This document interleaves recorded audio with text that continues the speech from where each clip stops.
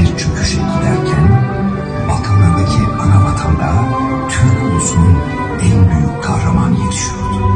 Ege'nin liman şehri Selanik'te orta halli bir ailede yetişen 7 yaşında yetim kalan okullara ara veren Rumeli'nin bereketli ovalarında tarla bekçiliği yapan kız kardeşleriyle oyunlar oynayan saçları güneş sarısı, gözleri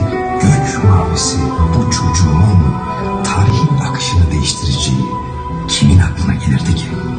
Tüm kahramanlar gibi o da Türk ulusunun en karanlık döneminde tarih sahnesine çıktı. Yaşamı boyunca hep imkansızlıklarla karşılaştı. Ama hiçbir zaman yılmadı.